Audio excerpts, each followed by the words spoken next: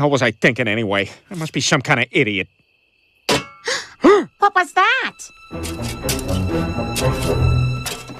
Holy crap, Lois! It's the treasure! Oh my god! Peter, you were right! Oh no, it's the one kid who also followed the treasure map.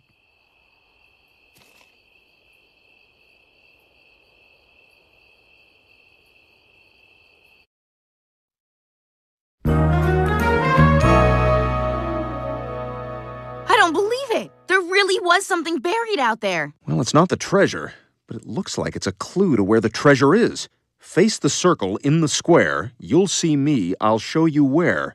Interesting. Interesting. Interesting.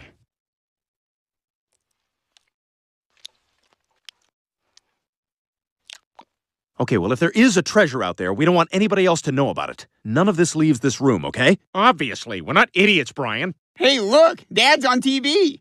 Hello, I'm Tom Tucker, here with local fortune seeker Peter Griffin, who appears to have found a clue to a hidden treasure. That's right, Tom, and I sincerely hope that the caption beneath me doesn't say local fatty. Let's do something about that caption. All right, well, you can check out the clue at our website, the real Quahog 5 News at 6 underscore Rhode Island.net. We were a little late getting a website. Quick, Neil, sign into the neighbor's Wi-Fi so we can get that clue. Nurse, write down that clue, and then go out in the waiting room and maybe start lowering expectations. Treasure? Yeah, baby? Bring me a grape wine.